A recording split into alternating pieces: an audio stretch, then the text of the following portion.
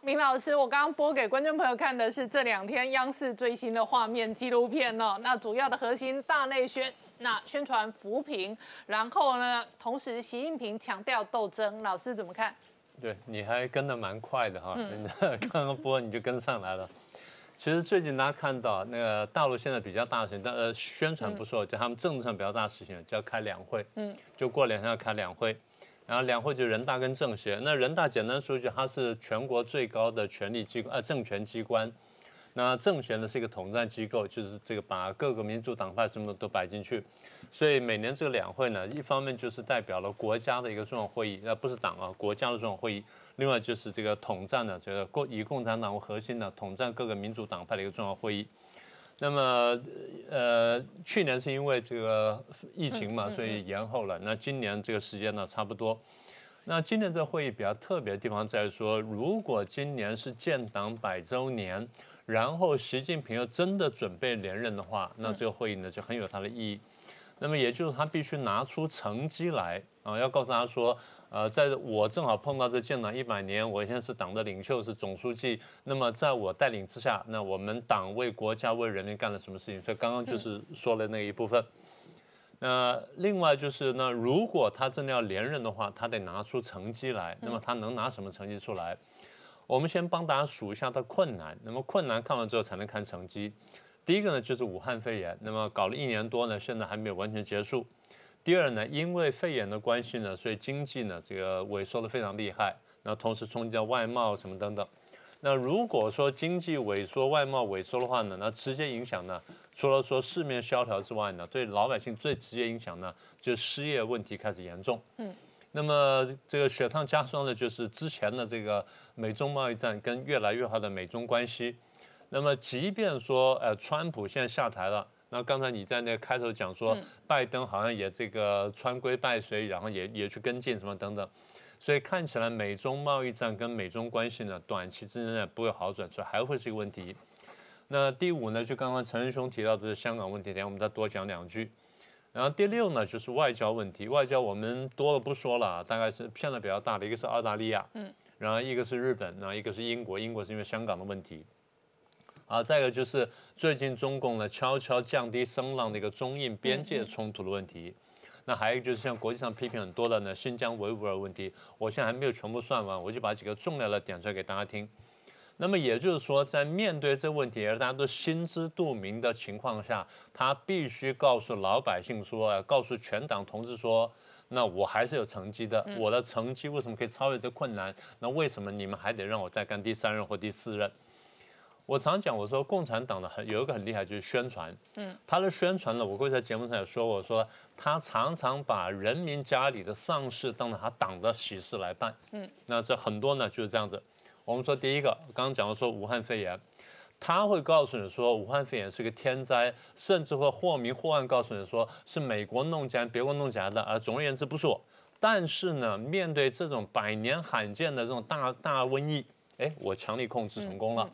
我染病的人不多，你看美国一搞搞了千万，然后死了这个几十万，那么我们这边才多少多少万人？你不管数据是真是假，但他告诉你，他就只有这数据。嗯，呃，第一个，我对这个罕见的瘟疫我能够强力控制；第二，我开发疫苗出来了。嗯，呃，不管这疫苗你们相不相信，第一我开发出来，第二呢，我还可以输出。那么只要这个疫苗在国际上没有出大问题的话，各位可以看到，将来还会强力宣传它的疫苗对人类的贡献。嗯，啊，所以第一个把丧事呢办变喜事，办当喜事办。第二，经济情况，他一定会告诉你，我经济情况慢慢好转。可是我们上次还讲说，它经济成长二点三嘛，对不对？我们已经说了，用各种数据兜呢兜不出这数字来，但他告诉你二点三。大家在没有别的数据情况下，你相不相信？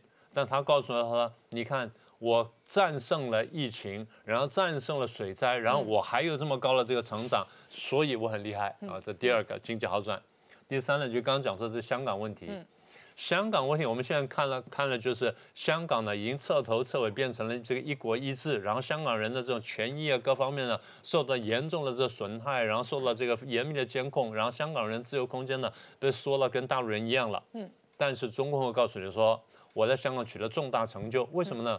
我内部挫败了颠覆分子，嗯，外部呢，我挫败了煽动者，我现在牢牢的把香港抓在手上，二次回归，我们再也不用担心香港会出问问题，会出乱子了。这就我刚刚说的，把丧事，把香港人的丧事变成中国共产党的喜事，还要跟大家一起，要大家跟他一起高兴。这也印证了刚刚我们前面看到说敢于斗争嘛，这就是敢于斗争的案例。所以他们从不认错。所有的事情都是别人错，然后人家搞鬼搞鬼，但是呢，因为我敢于斗争，大家团结在我周围，我跟我们一起斗争，那我们就赢了。好，这第三个，所以香港问题呢，他会这样宣传。如果他再加一句话的话呢，他会讲说香港现在是二次回归，或是真正回归啊，这是对香港问题他会这样说的。那么对美关系，我刚刚说了，可能短期之内不会有好转，那大概两天之内也很难出现重大变化，所以这事情很恐怕很难拿来宣传。那我们看来看去，他能宣传什么东西作为重大政绩？不管是庆祝建党一百年好，或者说为这个习近平第三次、第三任或第四任连任铺路也好，他必须拿出一个东西来，拿什么东西呢？脱贫。嗯。那么呃，脱贫呢，大家这样说吧。刚好在我们前前阵不是台湾放假嘛？刚好在放假前呢，他们开了个会，叫什么呢？二月二十五号那天，他开了个全国脱贫攻坚总结表彰大会。嗯，这个台湾没有特别太注意，但对中共来说呢，这是很大的事情。简单说就是习近平告诉大家说：“哎，我们呃这个几十年下来，尤其是我执政这八年下来。”第一，我二零一二年我上台之后没有多久，一个月呢，我就到地方去看了，就刚刚你在影片上看到那一段。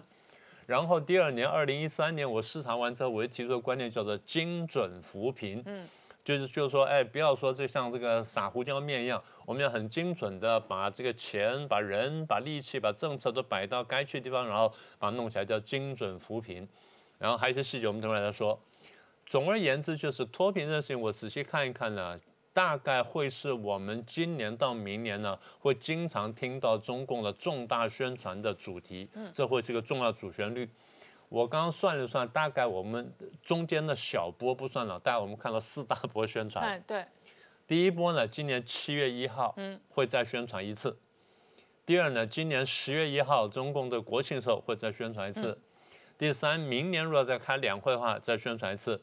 第四，明年看二十三号再宣传一次，所以大概关于脱贫呢，还会有四大波的宣传，小波我就不算了。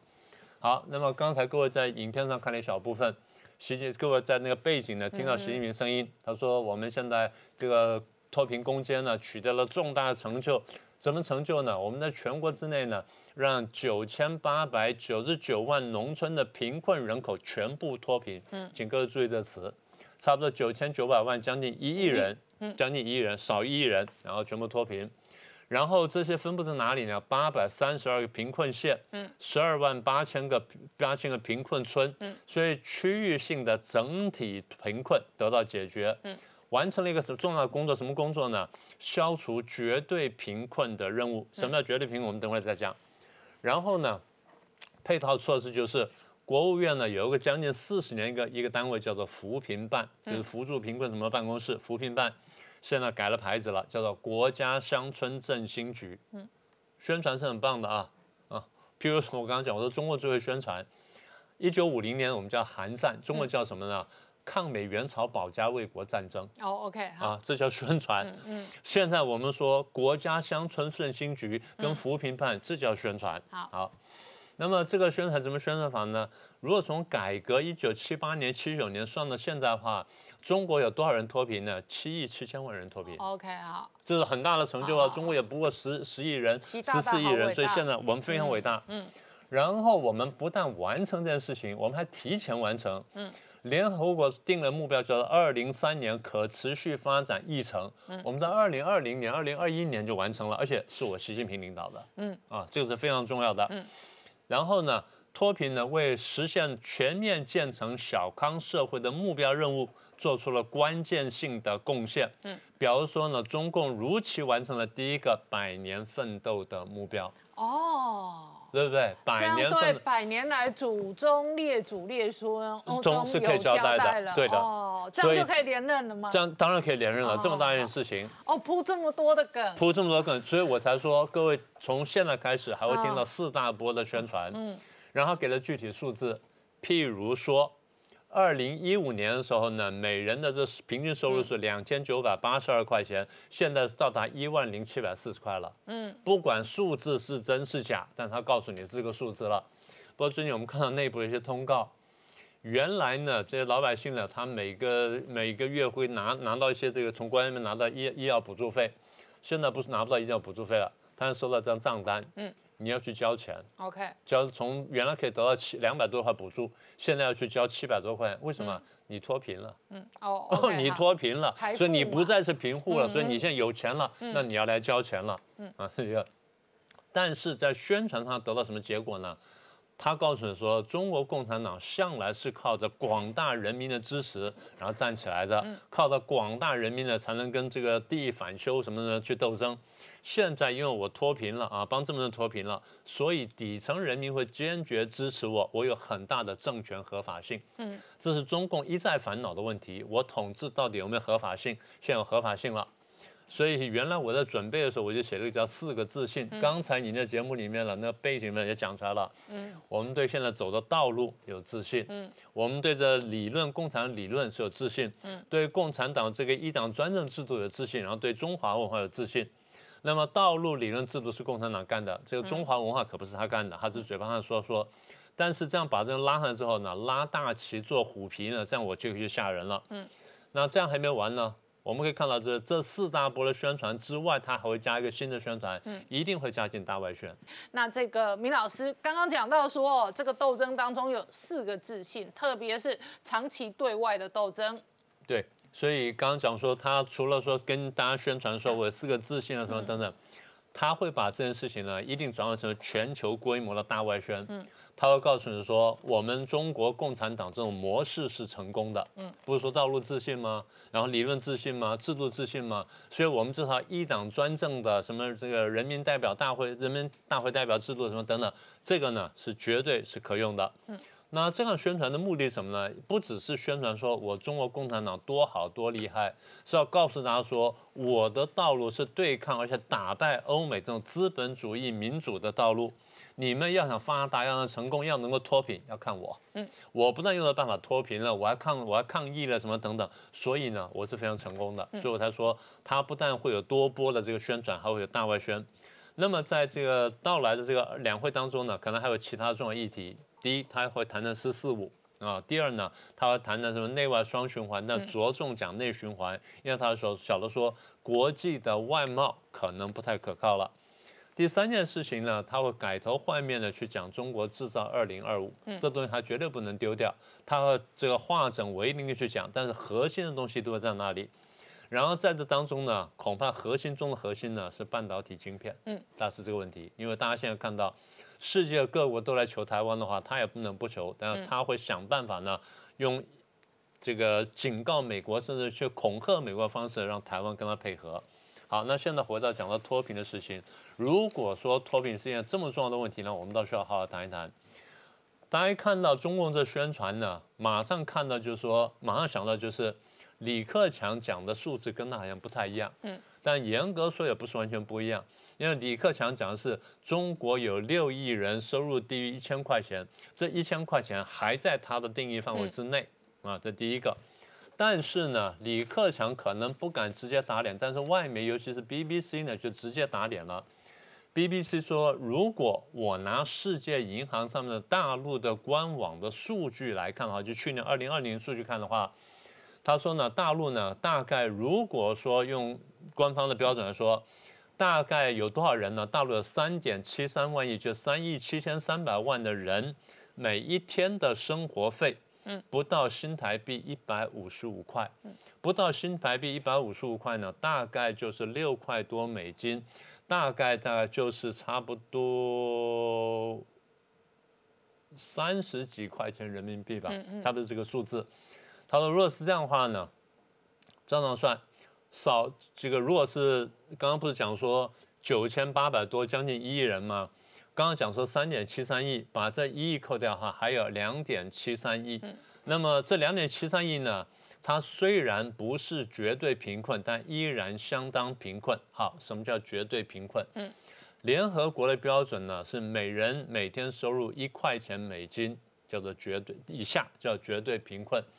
中国大陆说每个国家标准不一样，按照 PPP，按照生存条件什么等等。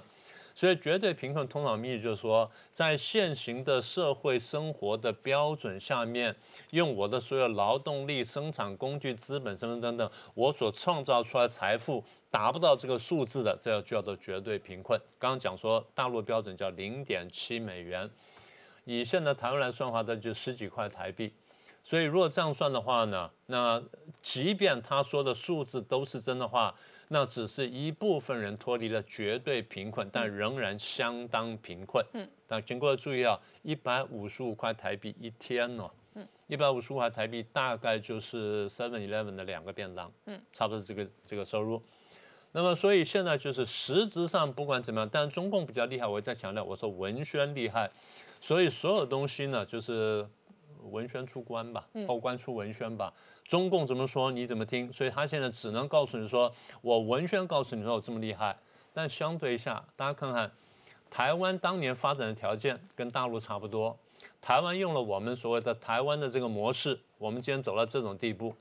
如果说七十年前中国共产党就用台湾模式，各位看看今天会到达什么地步？所以刚刚讲了很多困难呢，实质存在的，中国没有去谈，但他无可回避。所以他现在拿出来承接他就这几样东西，但如果说党内不买账的话，那我一直提醒他，我说他最后没有办法，他可能要想办法动动台湾。那么现在我得再说多多说一句话，如果香港问题这次美国反应不够激烈，中共如果说香港到这地步你都不反应强烈的话，那我就会动台湾了。这样我们就要担心第四次台海危机可能会提前来临。